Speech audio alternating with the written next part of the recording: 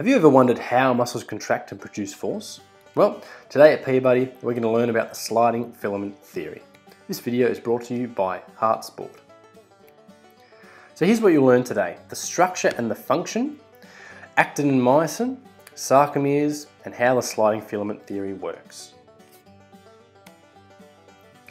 So a bit of an introduction. The sliding filament theory is a model or a theory for understanding how muscles contract. It explains how myosin and actin filaments, these are the key components of this theory, work together during a muscle contraction.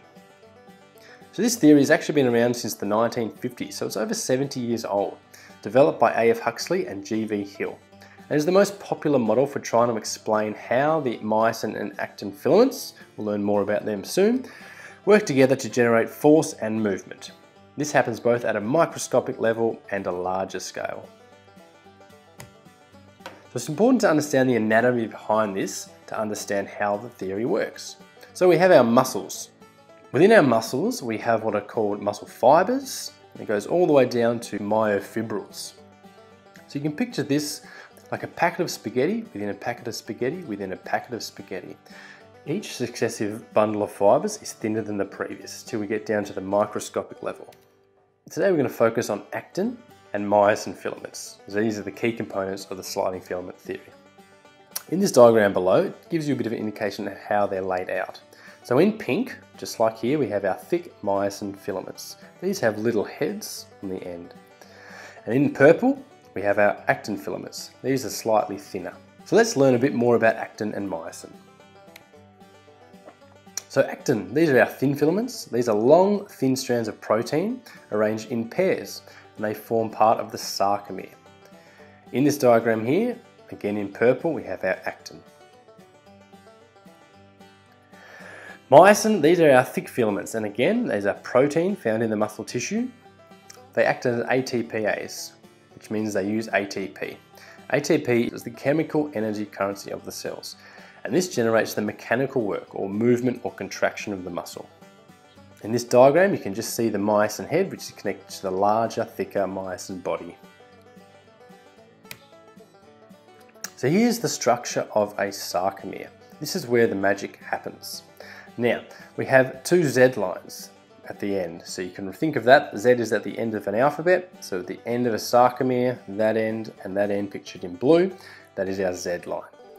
Now, Z lines are made up from our thinner actin filaments, and in red here we have our thicker myosin filaments. Now we have an M line, this can just mean middle line, and this is the center of the myosin. Here's a visual representation of how this works. So we have our sarcomere here with our two Z lines at the end. The actin and myosin filaments work together to shorten that sarcomere. So if you picture hundreds of these side by side, contracting the muscle and producing force. So this is easy to visualize with rowing. So in this case, the boat equals myosin, our thick filaments. The oars are the myosin heads and the water is actin. So the myosin heads or the oars, they bind with the water, pulling it back and producing movement. So if you imagine this within your muscle at a microscopic level, within the sarcomere, hundreds of them doing this at the same time, that is what shortens your muscle, producing force, producing movement. So there you have it. Here's a quick summary of the sliding filament theory. So this occurs within a muscle fiber in the sarcomere. The two main components, or myofilaments, actin, these are our thin filaments, and myosin, our thick filaments. So the sliding filament theory works when the myofilaments interact the myosin heads gripping and pulling on the actin filaments, just like rowing, and this is called a cross bridge. So this shortens the sarcomere and therefore the muscle, producing force and movement. And this whole process is fueled by ATP. Okay, it's quiz time. Let's see what you've learned. So question one, what is the structure called where sliding filament theory occurs?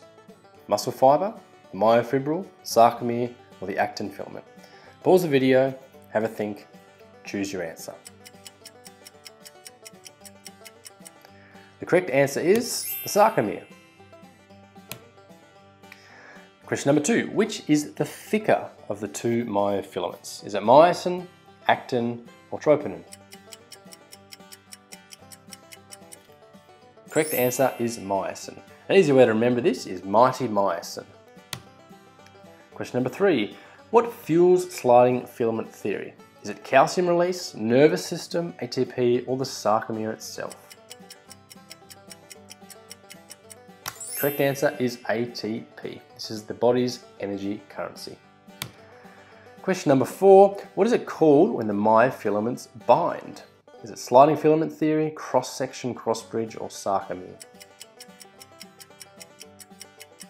Correct answer is cross-bridge.